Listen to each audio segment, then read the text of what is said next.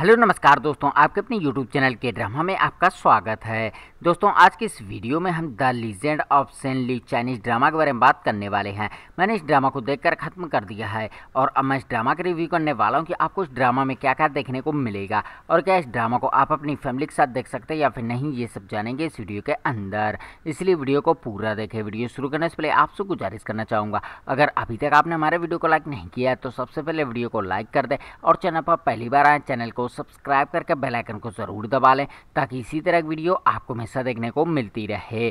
तो चलिए दोस्तों, वीडियो शुरू करते हैं। दोस्तों, सबसे पहले हम इस ड्रामा के बेसिस के बारे में बात कर लेते हैं।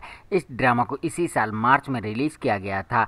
एक रोमांस, फैंटसी, वूजियस, भरपूर ड्रामा सीरीज़ होने वाली है। इस ड्रामा को पूरी तरह से देखकर ख़त्म करने के लिए आपको टोटल थर्टी नाइन एपिसोड देखने पड़ेंगे, जिनकी लेंथ पच्चीस से तीस मिनट के आसपास होने वाली है। एंड यह ड्रामा रिलीज़ हो चुका कुकन ड्रामा हिंदी यूट्यूब चैनल पर। हिंदी भाषा में, जिन्होंने नहीं देखा वो अभी जाकर चेकआउट कर सकते हैं। अभी के टाइम पर इस ड्रामा के 10 एपिसोड ही रिलीज़ हुए हैं। बाकी के एपिसोड आपको वीकली बेसिस पर देखने को मिलेंगे। और अब बात कर लेते हैं कि इस ड्रामा में आपको क्या क्या देखने को मिलेगा। तो इसमें कहानी फोकस करती सेन ली के कैरेक्टर पर, जो स्वर्ग की दानव लोक की एक राजकुमारी होती है।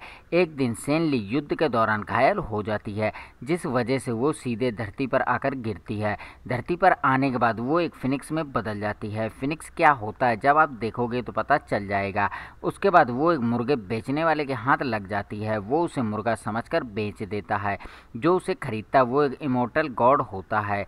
किसी वजह से वो धरती पर आता है, वो उस मुर्गे को लेकर घर जाता है और रात होते ही वो राजकुमारी में बदल जाती है। आगे की स्टोरी में क्या कुछ होता है, ये सब आप इस ड्रामा सीरीज़ में देख सकते हैं। ड्रामा की जो स्टोरी है और उसे जिस तरह से प्रेजेंट किया गया है, वो कमाल का है। ड्रामा में आपको जो एक्शन देखने को मिलता है, जो वीएफएक्स सीन देखने को मिलते हैं, उन्हें देखकर आपको मज़ा आ जाएगा। ड्रामे में आपको भर भर के फैंटेसी देखने को मिल जाती है। ड्रामा आपको शुरू से ही पूरी तरह से कनेक्ट करने में कामयाब हो जाता है।